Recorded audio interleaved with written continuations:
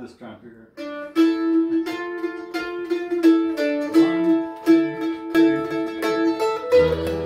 Okay. Okay, let's start. That sounds good.